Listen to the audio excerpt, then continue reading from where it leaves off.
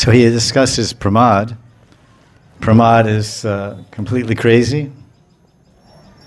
Pramatak, pramatak mada, excessively crazy. That's, of course, the goal of Krishna consciousness to become excessively crazy for Krishna and Radharani, Mahaprabhu.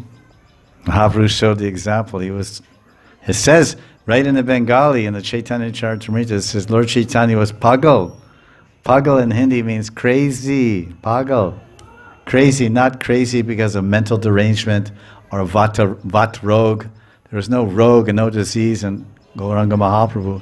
But he was crazy because of the effect and strong influence of Radharani's Mahabhav, which Krishna Chaitanya Mahaprabhu was trying to contain in his heart and trying to contain in his mind and relish in his heart, and it just tore him to pieces.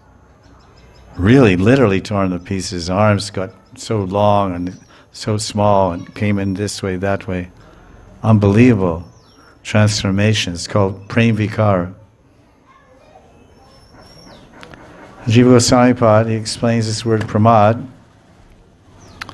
He says pramad means, I love I don't know what the, this is the translation.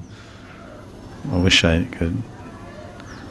Pramad means those who by nature become, are extremely, no, those, those who by, those, pramad, pramad is a word, describes those people those girls, those boys, in this case, those gopis, those gopis who by nature become com- extremely insane.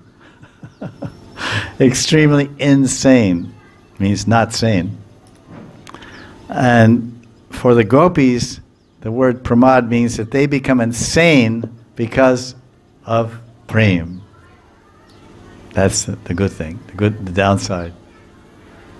In other words, when people become insane, materialistic people become psycho, you know, psycho or psychotic or go insane, they're usually destructive to themselves and others. And but the gopis, they're insane. It's it's simply there's no destruction. It's just you know, there is a certain destructive quality about the gopis' insanity that anyone who studies the pastimes of Radha and Krishna their, their material desires and their heart disease of lust will be destroyed.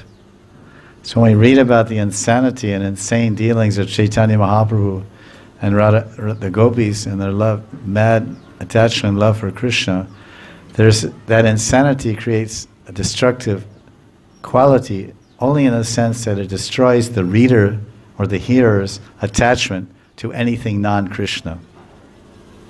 So that's good.